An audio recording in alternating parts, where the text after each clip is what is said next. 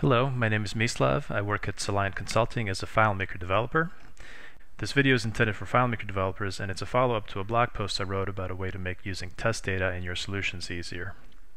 Developers often need data to work within a system as it's being developed. Many times you can only really test a FileMaker solution which has data in it, and just as often your users will have a hard time relating to an empty system. In order to make the QA process as effective as possible, and to get your users to really grasp what a system will feel like once it's deployed, it's best to flesh out a good bit of sample data.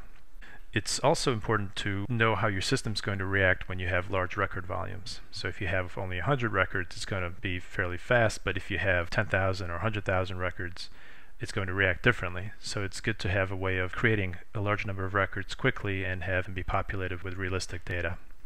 Having said that, it can be time consuming and a bit of a hassle to generate realistic test data. The tool that I created automates this effort to provide real-world, randomly generated test data that integrates right into your solution. There's no import to do, just plug the file into your solution and you'll be all set. So in this video I'll demo this utility file that I created for this purpose. I'm going to open the demo file. It has only one table that we care about to track contact records and you can see that there's just one record there right now. So instead of going to each field and typing in just sort of random data here, we can click this button. It's going to ask us if we want to leave data in fields that already have some data or if we want to replace everything with new random data. So we'll click replace and now all the fields are populated. So let's say we want to see how this file performs with lots of records. Let's say 100,000 or 200,000, something like that. Um, I'll do just 100 for this demo but we could just as easily do 100,000. It would just take longer for the script to finish running. That's all. So now we have 100 records. And if we want to see these as a list, you can click here. You can see that all the data is empty. So if we want to populate these records with test values, we'll click here and we select found set and we could do either one here and wait a few moments and there it is. And we can see that all of the records now have test data.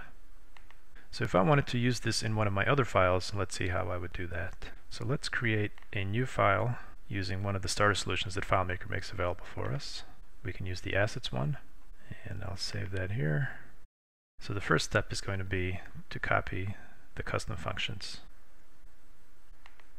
Next we will copy the modules folder. Alright, next we'll create a new script and we'll call it use test values for asset records. And this script will have just one step in it, and it will call this script which is part of the module. Alright, now I will add a button and it'll call the new script that we just created. We'll name it use test values and I'm going to set the hide condition so that it's hidden for everyone other than a full access user. And you could also maybe make it visible for test users as well. Alright, so now we need to go back to the script that we created. This script needs to pass along a parameter. And to help us figure out what the parameter should look like, we can run the create parameter script. So I'm going to open up the data viewer and run this script. And you can see this new global variable was created.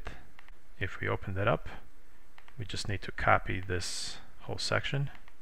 If we run this script again, it's going to clear up the global variable so it's not taking up space for us. Go back to the script that we created and we'll paste this parameter in here. So let's take a look at what's going on in here. So we have a, a let statement, and there is a, a fields and calcs let variable, which is set to this list here, and is then used as one of three parameters that are passed along to the script that we're calling. And the list is alternating field names and calculation expressions. The calculations will be evaluated using FileMaker's evaluate function. So this is where we specify what fields we want to have populated with test data and how we want that data to be generated. And when this code snippet was created, the script that did that looks at all the fields that are on the current layout and also all the fields that are in the table that the current layout is based on, even if those fields are not on the layout itself. And it then creates a list of those fields. It also tries to guess which custom function is going to be appropriate for each field. So for example, if we have a, a date field, like we do over here, it selects the random date function. And if we have a number field, it does the random number, and so on. Alright, so we'll go through and change the values here accordingly.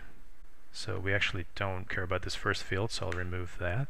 The second field was a text field, so the script wasn't sure which custom function to use. So we'll use this random value from value list because this field is actually using a value list.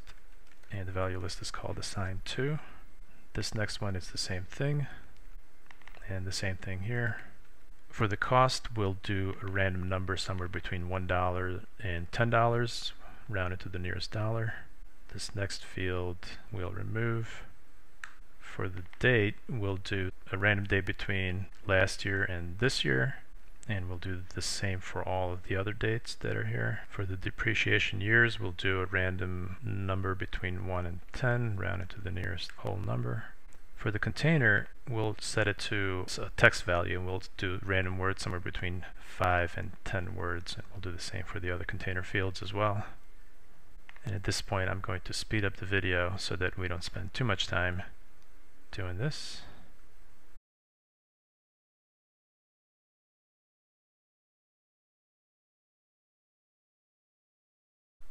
Okay, so now we've got this calculation set up.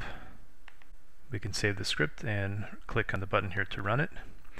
When we do that, it's going to ask us the question from before.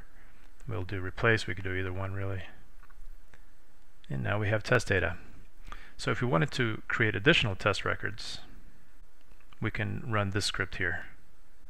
Now it's going to give us a warning that it's not set up correctly. To set it up, we need to make two small changes. We can just look for these edit markers here. It's going to ask us how many records we want to create, so we need a global text field to receive the user input. So I'm just going to create that real quick. We need to make this a global field, so I'll do that. And there it is.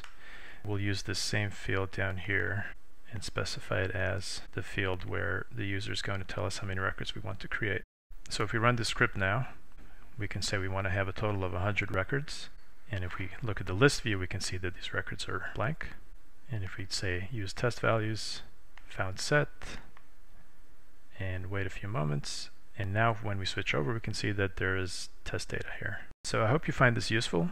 You can download the tool and read more about this whole approach at my blog post. There is a link below the video. Also, please check out our other videos and consider subscribing to our Soliant TV channel. Thank you.